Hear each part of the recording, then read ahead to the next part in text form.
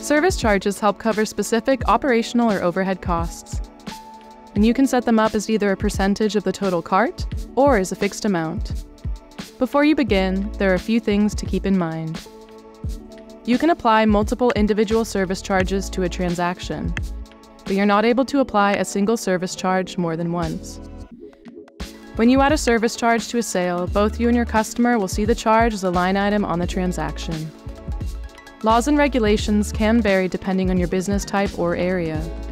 Make sure to consult with legal counsel to confirm you're in compliance with the rules where you do business. To create or edit a service charge, sign into your Square dashboard and go to Account and Settings. Click Business Information. Click Service Charges. Select Create Service Charge. First, name your service charge.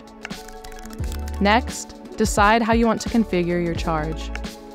You can set up your service charge to be either a fixed or variable dollar amount or percentage. Enter the amount, select applicable locations, and lastly, select if or how your service charge will be taxed. You have three options non taxable, tax assigned, and tax apportioned. Non taxable means your service charge will not be taxed. Tax assigned means your service charge is taxable and the entire service charge will be taxed at the assigned rate. Tax apportioned means the service charge will inherit the tax rate from the items in the cart. When you're all set, click Save. Once you create a service charge, you can add it to your cart from the Square point of sale.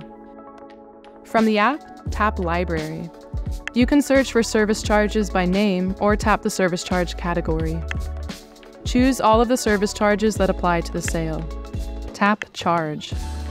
The service charge will show as a line item on your customer's receipt and in your transaction report details. To learn more, head to square.com forward slash help and search keywords service charge.